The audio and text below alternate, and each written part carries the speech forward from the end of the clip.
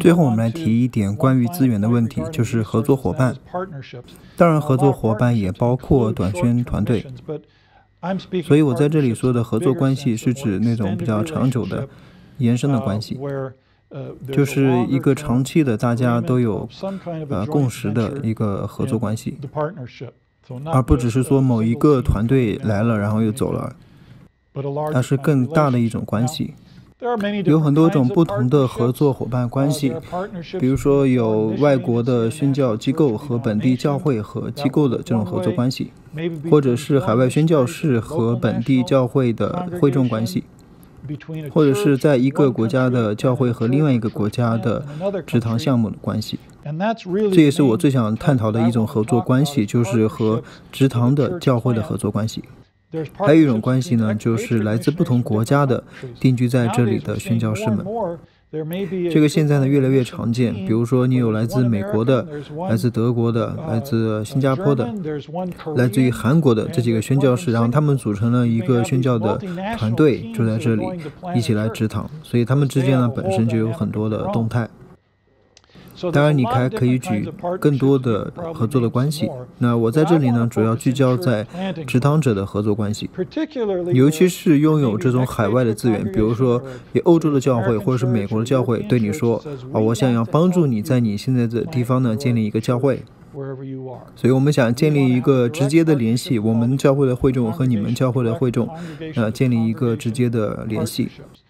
就有点像说啊，我们在这里呢建立了一个子教会的这会众，那我们就帮助他们呢不断的食堂。所以呢，我们该去了解如何用这种模式把它做得最好，因为这种模式呢现在越来越多，越来越常见了。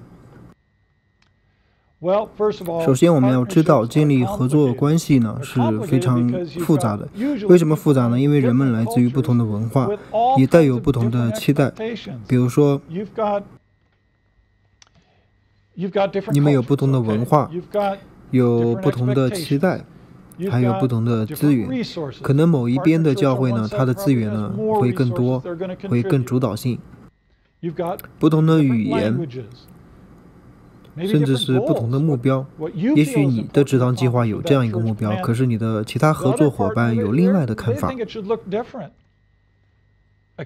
还有不同的问责体制，这个我们也提到过。那谁来责任分配？究竟是我们做这个施工呢？是不是每一分钱都要一起达成一致呢？还有不同的计划。有些文化，他们做计划呢是非常随意的，所以当他们遇到不同的这个难题的时候，他们会觉得说啊，没有关系，我们的计划就随之改变就好了，我们就适应这个新的环境就可以了。所以他们是非常灵活的。但是有些文化，他要做计划就会期待这个计划就一定要成就的。我们不会改变计划的，即便啊现在这个计划不怎么适用了，但是我们仍然会坚持这个计划，对不对？所以做计划呢有完全不同的风格，包括如何做决定。是不是一个教会做决定，另外一个教会完全不做决定呢？那你们如何来沟通呢？怎么做计划呢？信任，合作的双方有没有信任非常的重要。是不是说如果我没有看见他，那么他就私底下做一些啊我不喜欢的事情呢？好客，不同的文化对好客的认识也不一样。有些文化特别看重好客，如果从外面来了一个团队，那他们就会有道德的责任，说我们要啊用我们最丰富的东西来提供给他们。即便他们拿出来招待的东西可能是他们无法负担得起的，但是他们仍然会做，因为他们非常看重好客的价值观。但是另外的一个文化可能不一样，还有改变。那我们如何来面对变化？还有经验，那我们从来没有这样的合作伙伴关系。我们现在该怎么做呢？金钱，我们怎么样来使用金钱？我们怎么样来对金钱问责？还有神学，所以这边有很多很多的因素呢，都导致在合作伙伴关系里面非常的复杂。可能母会他们的神学方向是这样，可是新成立的教会他们会根据他们的情况说，也许我们要做一些调整和改变，包括不同的道德准则等等。还有不同的施工，也许你从来没有期待过会有这样的施工。还有权力的问题，谁有权利做决定，谁来负责？还有就是传统。那很多教会呢，他们对传统呢特别看重，你必须要按照我们的传统来做。而有些文化呢更看重创造性，啊，你要去做尝试一些新的事情，不要做以前做过的事情嘛。所以这些都要沟通，不管是友谊也好，还是忠诚也好，冲突也好，危险也好，等等，有没有乐趣啊？尤其对于美国人来说，如果合作关系没有乐趣，那就没什么意思了。所以建立一个合作伙伴关系呢，非常的复杂，你一定要睁大眼睛哈，去看一看，在这个关系里面有没有潜在的冲突啊、矛盾啊，或者是问题啊等等，一定要发现。当然，这并不意味着说建立不了好的合作关系，当然是可以建立的。所以，有效的方式是哪些呢？就是要对不同的文化有警惕。那我们不能忽略这一点。在我们休息之后回来，我们会讲到一个核心。所以在建立好的合作伙伴当中呢，我们必须要有一个处在双峰文化当中的人。拥有双文化的中间调解人，他就是对两边的文化都非常的了解。一般来说，这种双文化的调停人呢，他是一个中立的人，他并不会属于哪一方，所以他可能不会在这个合作伙伴关系里面是某一个教会的会友，而是更加中立的角色。因为有些时候在文化当中的冲突，很多都是因为误解产生的，而这个。具有双重文化的人呢，他就会说，比如说他会对这个俄罗斯人说：“哎呀，这个，呃，你对这个美国人他们是一个误解，因为他们的文化里面啊是这样表达的，是什么意思？”所以反之亦然，他也会到美国人那边说：“啊，那个俄国人他们的思维方式就是这样的。”所以他就成为了这两种文化的桥梁和调停者。所以如果你们有这样的一个人的话，那你们的关系会完全不一样。不然的话，你们可能会花很多的时间精力去和解、去沟通。一个好的合作关系呢，必须建立在互相尊重的基础之上。有些时候是很自然的，对于那些资源比较多的教会，他们呢就会觉得自己更好，啊，自己更聪明，啊，自己比那些没有资源的或资源更少的教会呢，比他们更强。但是这是合作伙伴关系里面非常不好的一种态度。他们也许很有钱，但这并不意味着他们不能有同样的尊重。所以在合作的伙伴里面，必须要建立起互相的尊重。有些教会可能提供更多的财务的支持和资源，有些教会呢可能提供更多的人力或者是属灵的资源。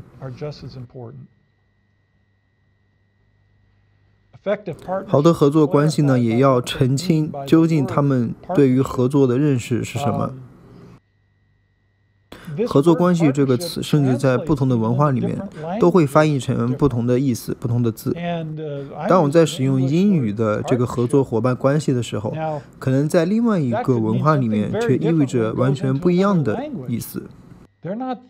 当我们在说合作关系的时候，他们想的那个术语跟我们的意思呢完全不一样。我们遇到这种情况很多次。合作关系是不是主要指商业的合作关系？那么商业的合作关系的目的是什么？是为了钱，对不对呢？所以当这些商业一起合作的时候，他们有清楚的目标。他们不管做什么项目也好，还是说我们在一起合作可以卖出更多的产品也好，或者是啊，不管怎么说也好，呢他们呢最终要达到同样的目标。当这个目标完成了之后呢，他们的合作关系可能就终止了，因为他们的目标呢就是要完成任务。不管这是好还是不好，这就是大部分的美国人他们呢对合作关系的一种认识。他们想到呢是要完成某一个任务或者是目标，所以这听起来就像这样。比如说，我作为好外面的一个教会，那么我现在要支持你，让你建立一个新的教会，给你五年的时间，然后我们一起的合作。那五年之后呢，我希望看到这个教会建立起来，然后呢，我们的合作关系就结束了。这就很像以商业的方式呢，建立一种合作伙伴关系。那你去制定目标，然后呢，你去寻找资源，然后呢，建立合作的关系。那完成任务之后呢，你们的合作关系就解除了。然后他们就去做另外的事情。那这就是一种以商业的模式来看合作伙伴的关系。还有另外一种呢，我们称之为啊赞助人和委托人。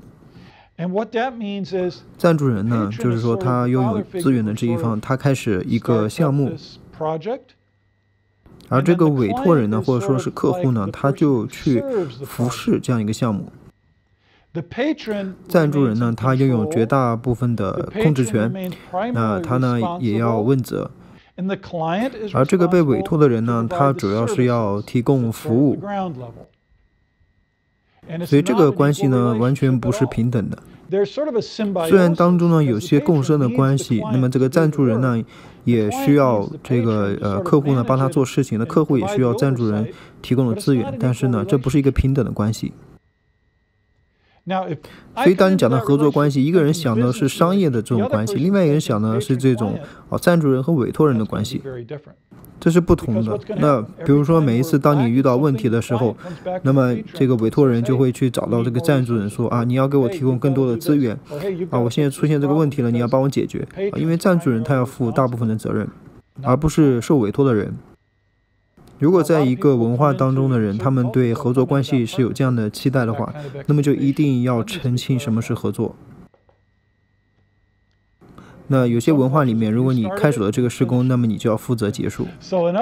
就好像一个教会来支持你植堂，然后呢，你就说好的，那反正你给我提供资源，你帮助我啊，不管我是在呃非洲建立教会，还是在俄罗斯建立教会，啊不管怎么样，我来建立教会。但是呢，最终这件事情呢，还是你教会要把它完成。如果五年之后教会没有被建立起来，怎么办呢？嗯，他就会说，那你既然开始了这个项目，你就要来结束。我只是来帮你做，就好像说你花钱买了，你就拥有它，那这就会导致很多的问题。有些人呢会把合作关系看为一种延伸的家庭关系，尤其在集体主义的文化里面，那这个延伸的家庭呢非常的重要。在西方的文化里面，我们喜欢称家庭是一个原子的家庭。父亲、母亲、孩子，可能也会有孙子孙女，但是呢，都是一个小家庭。但是在集体主义的文化里面呢，那这个延伸的家庭就很重要了。那还有叔叔阿姨，然后侄侄女啊等等啊爷爷奶奶。那么这样一个大的整体的一个家庭就成为了你的安全感。尤其对于某些文化里面，他们的啊社会不是那么安全，或者是没有好的医疗保险，那这个大的家庭呢就成为你的安全感的存在。如果出了什么问题，那么你就指望你家庭的其他成员来帮助你了。所以有人会把合作关系呢也看为家庭关系的延伸。所以当他建立教会的时候，他可能会想啊，你们其实就跟我的这个表哥表弟一样。那我有需要的时候，你自然要帮助我啊，对不对？因为我们是这个家人嘛。那家人有需要的时候你不帮助，还算什么家人？所以，当你教会有需要的时候，你就去找你那个有钱的叔叔，对不对？但是对于美国人来说，他就会说：“等一等，我们好像没有这样一个合约吧？”他说：“合约？这个我们作为一家人还要什么合约啊？根本不会写什么合约的。”我说：“我怎么可能会写一个合约呢？说当这个侄子生病的时候啊，叔叔要负责为我付药费，那怎么可能是这样？你什么意思？”商业的关系就是说，你看我们有一个合约，哪些是我要做的，哪些呢？这些我不该做的啊，这就是商业的模式，对不对？但是在家庭关系里面，你们会这样做吗？我想可能有些青少年他们还希望这样做，啊他会给父母说：“你看我们这有签的合约哈。”不，但实际上家庭关系呢，它是建立在共同信任的基础之上，你要为对方牺牲，要照顾彼此。所以这是他对合作关系的认识吗？这是我对合作关系的意思吗？所以你一定要把这些事情搞清楚了，才会避免将来不必要的潜在的一些的矛盾和冲突。我可以告诉你呢，大部分的美国教会，他们大部分都在谈论关于合作关系的时候，都是商业的模式。比如你在这个地方五年之后建立完了教会，然后你说啊，我接下来要去乌克兰建立教会，啊，我后面去到意大利建立教会。然后他们说什么？然后你说我们是合作关系啊？他们说是啊，是合作关系，但是我们的合作关系已经完成了呀。那合作关系就像家人一样，你不会对你的孩子说啊，你现在长大了，你现在啊可以离开家门了，我们再也没有关系了，对不对？所以这里面的误解呢，反倒会对双方呢带来很大的这种伤害。所以必须呢要双方都要有平等的认识。好的合作关系呢都有一个共识，就是在责任的分担上，还有包括如何做决定。我们也提到过了哈，不同的机构、不同的教会，他们可能有不同的方式来去面对责任。包括做决定，因为有很多的合作伙伴，他们不希望你突然做一些比较大的决定来吓着他们。有些时候，当然环境改变了，你也要顺应环境，做出一些啊这个变化。但是呢，你必须要跟你的合作伙伴澄清，双方一定要达成共识，就是我们在做怎样的一个决定，我们有多大的自由度来做现在我们觉得是正确的事情呢？好的合作关系是一个真诚的，而且是透明的。这件事情也很棘手，因为对于有些文化来说呢，他们并不愿意把那些负面的东西拿到台面上来说，他们会觉得很不礼貌的，然后就直接说我们现在遇到一个很大的问题。所以你不要说这样的事情，尤其是对你的合作伙伴啊，这是非常粗鲁的，这样很不好。有些文化就是觉得你如果不说呢，他们就假设你没有问题。所以透明的意思就是你一定要找到一个方式，那非常清楚的来沟通。当有问题出现的时候，你一定要让对方能够理解的方式来沟通。所以这就是那个双方文化的一个桥梁和调停者，他可以帮助的地方。调解者可能会说现在有问题，然后他说没有人告诉我有问题啊，然后调停者会说是啊，那是因为你是美国人。但是如果你用中国人的耳朵来听的话，你就能知道那里真的产生问题了。那让我告诉你是什么问题。所以有时候啊，这个中间人呢是非常重要的。所以你就是要去面对和处理这样的问题，要去追求呢授权，尤其是你作为这个资源更多的一方啊，不要那么的掌控。我们也说过了哈，不要有这种优越感。那相反呢，你也不要被别人来掌控。就是被那些资源多的来掌控，所以你要真的对上帝的呼召呢，要忠心，要真诚，所以要学会拒绝。面对你真的想要得到那个资源，有些时候你需要勇敢的来去说，上帝啊是这样带领我们，这就意味着我们要拒绝一些合作关系。在这里也给大家介绍一些资源、一些书籍，关于啊合作伙伴的。Leighton Nanter 这个人写了一本书，就叫做《跨文化的合作关系》。这本书里面呢，探讨了很多我们刚才探讨的话题，也给大家列举了很多很实用的这些的例子和方式。另外一本书就是《当帮助伤害的时候》，那这本书呢也探讨了那呃怎么样才可以不那么过于主导。这些都是为你们准备的比较好的资源。我们致力于服务当代基督徒群体，提供丰富的基督徒装备和辅导资源。浏览 TV Seminary 的线上资源，请访问 tvseminary.com。在我们结束之前呢，我还是给大家几个应用性的问题，让大家来思考。那究竟这些呢，是对你来说意味着什么？你用怎样的方式可以更加的来鼓励本地信徒有拥有感，而且有管家的？方式呢，去支持施工。你的施工方式如何来帮助本地的发展和倍增呢？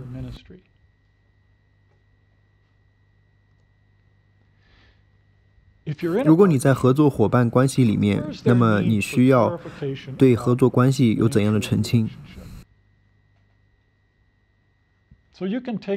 所以你可以拿着这些问题，也拿着我们上课的材料。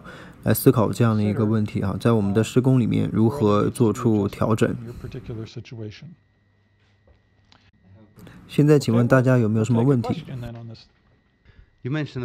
老师，你刚才提到了有很多关于在施工合作伙伴里面的标准和原则。那在这里面呢，你也特别提到了双方的问责，就是双方的责任。你说的这个责任是指这个属灵的吗？还是财务的呢？还是什么呢？如果是财务方面的，那到一个怎样的程度呢？因为我其实也看到过很多这个短宣的团队，有一个宣教团队呢，他们来到我们这边的孤儿院呢，来为他修这个房子。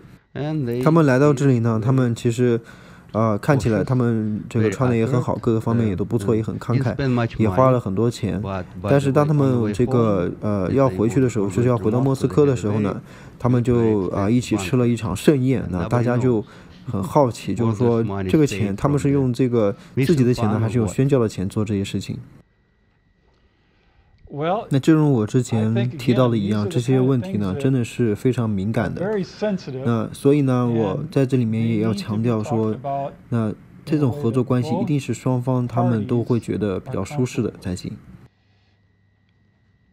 所以这个例子里面，如果他们这个团队呢为他们的旅行呢去筹款的话，对于他的合作伙伴来说，可能就很难去问这个问题，说啊，为什么你要花钱在这些上面？而且冲突的产生就是他承诺要给钱，但是还没给到。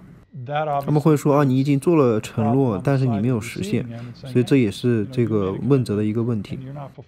所以从这个角度来说，的确是有责任，或者说，即便给了钱，但是钱没有用在他们想要用的地方。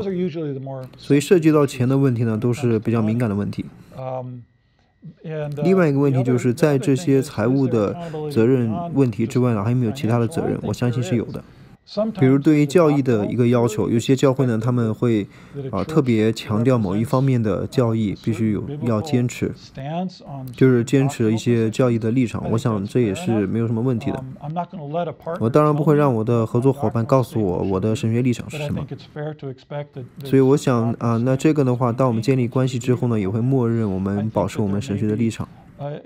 当然也有属灵的问责。我在想，如果我是啊一个执堂者，然后有这个短宣团队来，如果这个团队里面的人呢，他们的生活方式没有活出福音的精神呢，或者是不符合圣经呢，所以我相信呢，我是要对这个属灵呢有问责的。我可能会写信给差派他们的教会说，你们差派的这个团队的人哈，他们。啊，好像没有这个对，在属灵当中呢有这个责任，所以我相信属灵的问责是双方的，不像是这个给钱呢是单方的，所以呢也可以应用在属灵的问责，也可以应用在这个呃承诺啊、尾声啊等等哈，就是这种啊相互的这种责任和问责的体制，所以呢也是用这种问责的体制来去做决定，因为你们想要做出的决定呢是双方都一起做出的。这样比较好啊，而不是某一方呢自动在做决定，另一方会说啊，我根本都不知道他们做了啥，你们为什么要这样决定？所以你对这些问题啊要保持一个开放的态度。还有没有什么问题呢？啊，我相信肯定有很多人呢想要讲很多啊关于这个短宣团队啊来来到你们这边做了一些很疯狂的事情，对不对呢？你知道，人们有些时候会遇到真正的麻烦，就是当他们在面对性别的问题，就是两性的问题，就是呢，你怎么能穿衣服啊？你接触别人到一个什么样的程度？有些文化呢，他们这个身体的接触很高，有些文化呢，身体接触就很少，所以这些领域呢，可能都会造成很大的问题。